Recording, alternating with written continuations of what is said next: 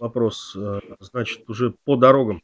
Э, понятно, что было достигнуто соглашение, то я вот по улице Комарова, но все же там образовались совершенно ненормативные ямы, уже на моей памяти там только два человека оставили диски, колеса. Можно ли какой-то временный ремонт подрядчикам произвести, потому что, ну, э, я думаю, что здравое возмущение у жителей вызывает новая дорога, на которой приходится лавировать, как будто мы по Донецкой области едем, ну, несерьезно.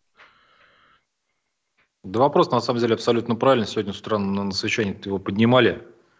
Э, ответственность капитанов канат за это направление. Надеюсь, что во второй половине апреля месяца у нас подрядчик приступит к капитальному ремонту дороги в рамках гарантийных обязательств, которые у нас заключены в суде. Также дано поручение проверить все дороги по подрядчикам за последние три года, посмотреть не за пять лет, за три года, но, соответственно, дальше будем смотреть э, по всем Э, тем договорам, по тем срокам, которые были прописаны в договорных обязательствах. И по ямочному ремонту, я думаю, сегодня-завтра мы должны там э, принять какой-то механизм, чтобы эти ямы убрать. Это, наверное, не два случая, кто там оставил колеса, диски, наверное, побольше. У меня тоже два знакомых, которые туда попали, буквально вчера оставили там резину.